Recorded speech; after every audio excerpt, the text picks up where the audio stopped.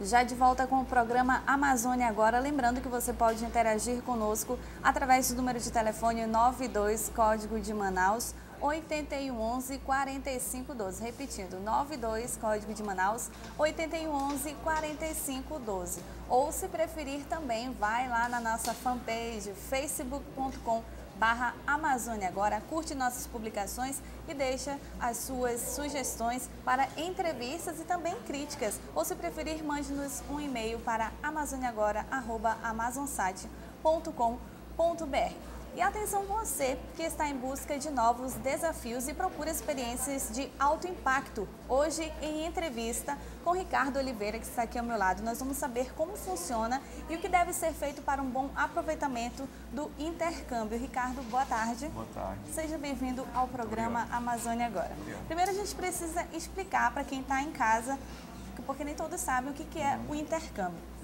Então, intercâmbio é uma oportunidade da pessoa poder se conhecer, se desenvolver através de uma experiência de viagem para outro país.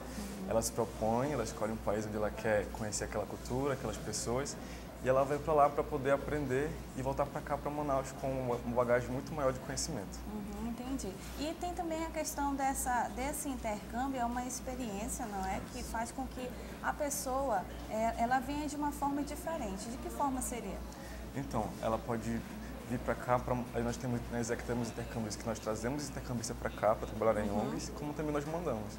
Então, nosso, nosso propósito é, através de trabalhos em organizações, em ONGs e empresas também em outros países, bem como em Manaus também, desenvolver esse jovem, desenvolver o jovem de Manaus e desenvolver o jovem dos países também. E como que é feito o trabalho de vocês nessas ONGs?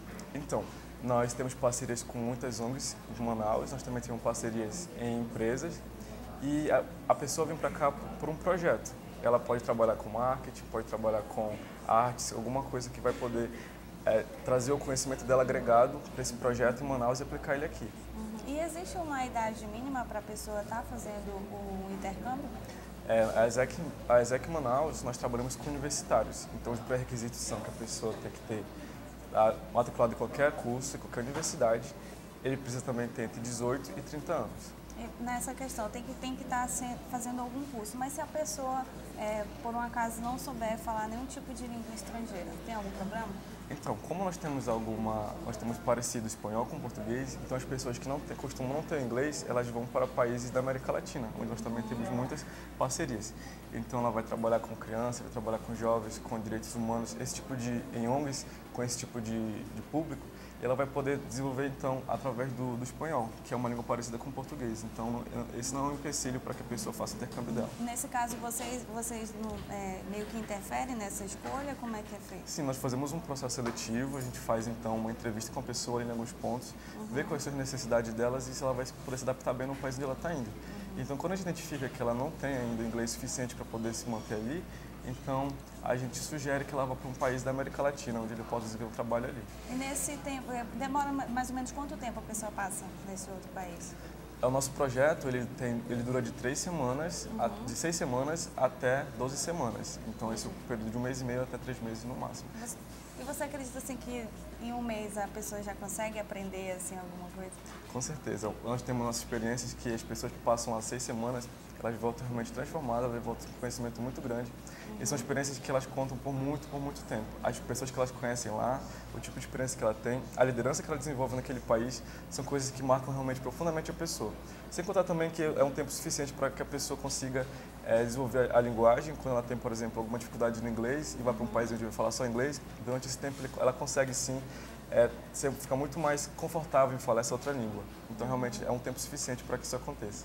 Entendi. E também tem algo que é importante a gente ressaltar, porque como a pessoa está em outro país, tem também a questão da moeda que é diferente. Então a pessoa tem que se preparar para isso. Isso. A ESEC Manaus, quando ela faz esse tipo de dessa relação, a gente alinha todos os pontos. Nós damos todo o suporte para a pessoa. Desde onde ela vai ficar, onde ela vai trabalhar, então a gente arruma então uma casa onde ela vai morar, em outro país, bem como também essa parte da moeda. Nós damos todo o suporte em ajudar como é que ela vai trocar, quanto ela precisa economizar. O suporte também financeiro, nós chamamos de coach financeiro, que é quando a gente faz acompanhamento com a pessoa de saber quanto ela precisa economizar por mês até para poder conseguir fazer intercâmbio no tempo que ela quer.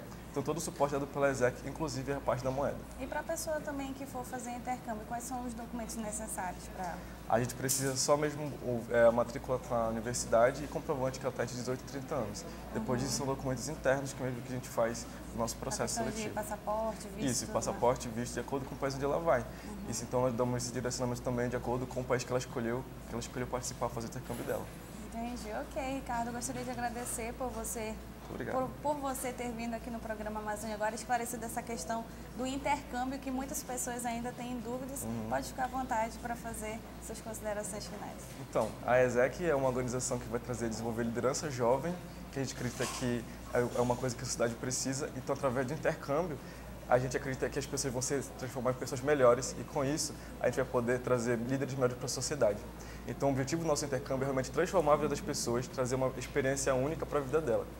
É, nós estamos de braços abertos para recebê-las, pessoas que ficarem interessadas. Nós também tra trabalhamos não só, somos todos voluntários na ESEC, então não só para fazer intercâmbio, como também para ser membro da organização, para trabalhar com a gente, para se desenvolver através desse tipo de experiência. Nós estamos de braços abertos para recebê-los.